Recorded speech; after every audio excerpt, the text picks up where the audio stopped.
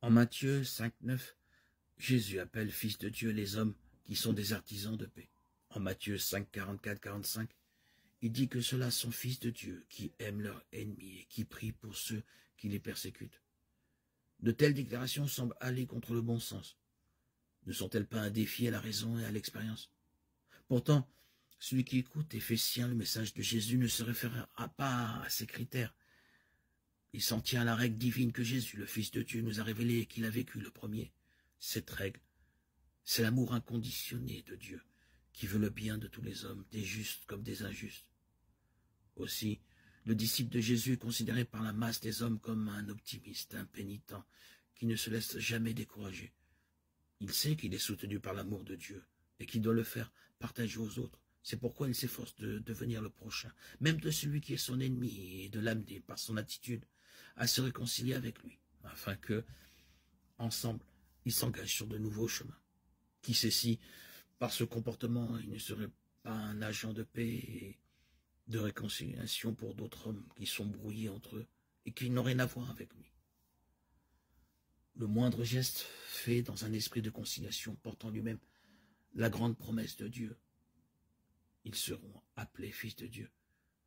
C'est Dieu lui-même qui met au cœur de l'homme le véritable esprit de communauté, la confiance mutuelle, l'affection, la bonté profonde, car il est un Dieu qui aime les hommes.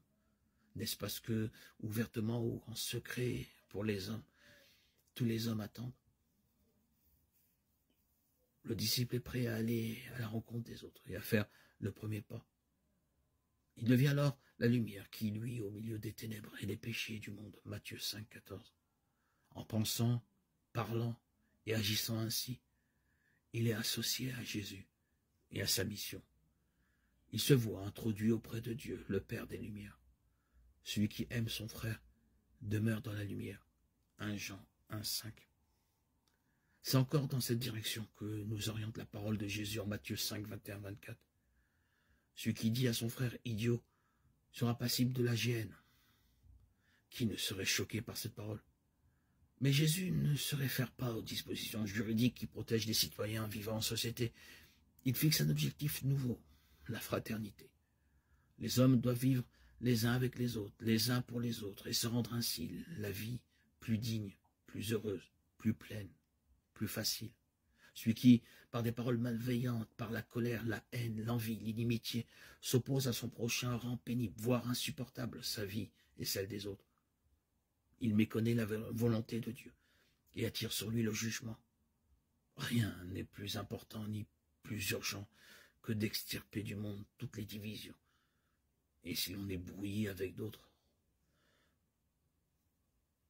de se réconcilier. Le culte à rendre à Dieu ne peut en aucun cas être un prétexte ou une excuse pour différer cette réconciliation. Sinon, l'on taxerait le fidèle d'hypocrisie et il serait son propre accusateur. Une chose est certaine, la question de savoir qui, dans tel cas, a tort ou raison, ne sera jamais posée en termes de dispute et de chicane. Cela ne sera guère le moyen pour parvenir à une réconciliation. Le disciple de Jésus est tenu de faire tout ce qui est en son pouvoir pour faire disparaître tous les désaccords entre les hommes. S'il s'applique loyalement à cette tâche, il prend Dieu au sérieux et le respecte comme son Seigneur. Ce n'est pas celui qui me dit Seigneur, Seigneur qui entrera dans le royaume des cieux, mais celui qui fait la volonté de mon Père qui est dans les cieux. Matthieu 7, 21. Sans aucun doute. Cela exige maîtrise de soi, énergie, courage, civique, confiance en l'homme et bien d'autres qualités encore que seule la foi nous donne en partage. Dans ces conditions, le culte est digne de Dieu et notre christianisme devient crédible. Qu'arriverait-il si nous, chrétiens, nous prenions notre vie au sérieux?